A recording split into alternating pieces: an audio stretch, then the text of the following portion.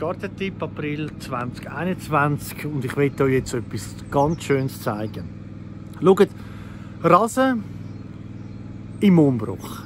Ihr seht hinter mir da Günsel, Gundelreben, ähm, Bellis, also Müllenblümchen blühen. Das ist ein Mini-Flor im Anfang. Und ich sage euch, im Sommer, wenn es hitze ist und ihr kein Wasser geben der Blumenrasen, der wird grün bleiben. Das ist der ganze Anfang, den wir haben. Wir haben hier hinten noch Partien, wo äh, ein bisschen Moos ist. Das Moos nehmen wir raus mit den Maschinen und sehen dann Blumenwiese noch nach. Und dann gibt es eine wunderbare Sache. Wenn ihr Freude habt an der, ja, an der Umwelt, respektive ihr wollt etwas für Biodiversität machen, dann lasst das Zeug stehen, geht mit der Natur und macht Natur. Ich wünsche euch noch viel Vergnügen in euren Blumenwiesen. Ja, euer Gallus Ottiger.